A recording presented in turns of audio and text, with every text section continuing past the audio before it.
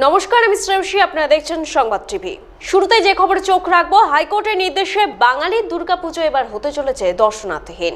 প্রতিদিন যেভাবে লাফি লাফি বাড়ছে করোনায় আক্রান্তের সংখ্যা, তাতে সরকারের তরফে দুর্গাপুজোর অনুমতি দেওয়া আদৌ যুক্তিসঙ্গত কিনা তা নিয়ে মামলা দায়ের হয় হাইকোর্টে। সেই মামলা শুনানিতে সোমবার রাজ্যের সমস্ত পুজো প্যান্ডেলকে নো এন্ট্রি জোন ঘোষণা করল আদালত। এদিন হাইকোর্টের তরফে স্পষ্টতই জানিয়ে দেওয়া হয়, পুজো মণ্ডপে দর্শনার্থীদের প্রবেশ নিষিদ্ধ।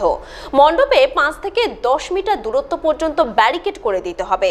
মণ্ডপের ভিতরে যারা প্রবেশ করবেন, তাদের তালিকা মণ্ডপের বাইরে ঝোলানো থাকতে পারে। একসঙ্গে পনেরো থেকে কুড়ি জনের মণ্ডপে প্রবেশের অনুমতি রয়েছে। আদালতের নির্দেশ, রাজ্য কীভাবে পালন করল তার জবাবদিহি করতে হবে লক্ষ্মী পুজোর পর।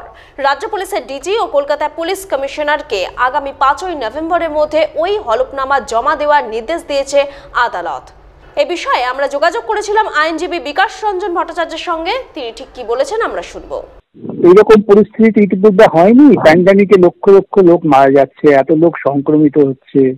আমাদের রাজ্যে চিকিৎসার কোনো ব্যবস্থা নেই। হাসপাতাল প্রাঙ্গণে লোকের দিনের পর দিন পড়ে থাকছে বেড নেই, অ্যাম্বুলেন্স নেই।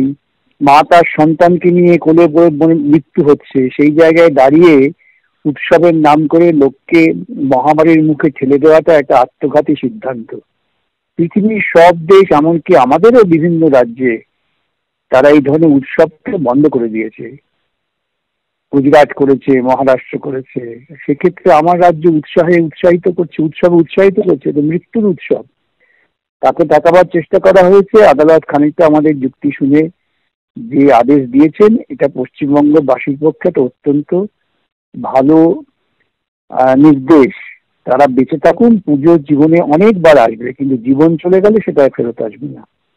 এখন এই পর্যন্তই ডেইলি আপডেট পেতে চোখ রাখুন সংবাদ টিভির পর্দায়।